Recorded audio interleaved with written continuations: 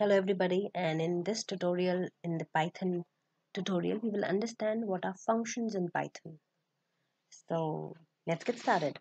Okay so this function as the name suggests it is a block of an organized reusable code and this code can be reused in my program as many times and this provides with modularity that means a complex thing can be easily concised and presented very in a modular manner in my representation okay of the code.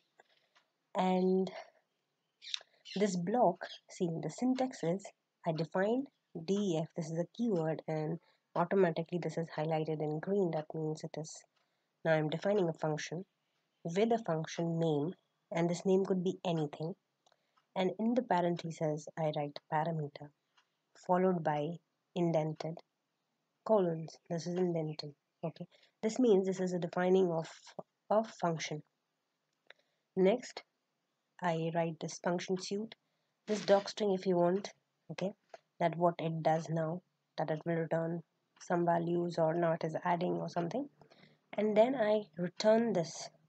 Inside I can give expression if I want or I can leave it blank. We'll see this return in coming up uh, video okay? Now coming up this series this next. Now let's see the example of it. What I do is I define a function called print me. Okay, let's just see this one thing and inside I pass string. The string is a keyword so it has been highlighted in green. And then in the end I mark this indented indentions okay? These colons. So this has been defined as a function that this is the print me underscore me is the function name inside I'm passing parameter called string. Then what I do is I can just simply write something like you know any doc string that this will return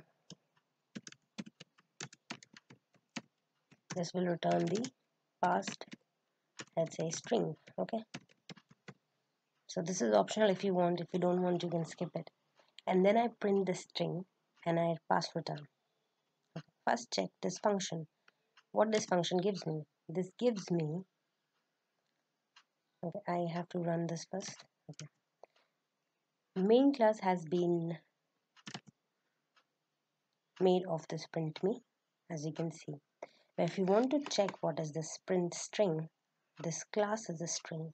So the output it gives me is the class string. You can see check it with the parentheses check it with this quotes that means it is a string now what if, if I write? Now I'm calling this function and I'm writing my name. And I check it it's giving me Priyanka. Okay. What next? I print print again I call this function and I write in the string hi we are studying functions in Python. I hit shift and enter run this code and we get this same thing similarly you can perform as it many a times call this function and this will give me the same return value. Now suppose if I what happens if I write like you know I add a cell by hitting when this blue line comes I hit B and a new cell is added. Now I suppose suppose I don't write anything I just pass simple parameters. Then what will it give me it will give me missing one required positional argument okay? And this comes with functions. And this is dealt with in previous in in the next videos. I'll be discussing about these arguments in functions okay? Now let's examine this return statement. What is this return statement? This return statement is exist this exit a function okay if you give an expression inside that that's okay. If you do not give it then it is same as the return none. Now I explain you with the help of an example. Now suppose this is the function definition. Now what is it? I define a function called sum okay? And I give two arguments parameters here. Argument 1 and argument 2 you can write anything a b c whatever. And I end it with this colon okay then what I do I pass a string so that you can understand this thing. It is just for uh, um, given so that the one who is reading the code can understand your code okay? So what you do you add the both parameters and then you return them.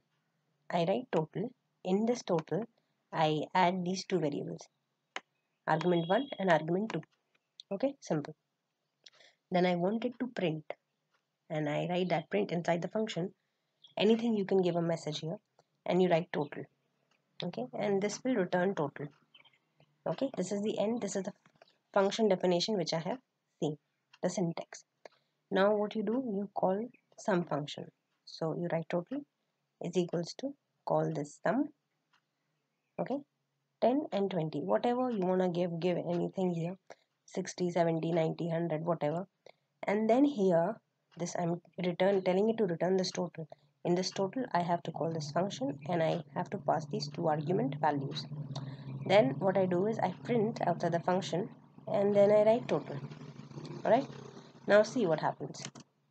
This will give me inside the function it has added and given me 30 and outside the function also it has given me 30 okay? Just just see it watch it very carefully.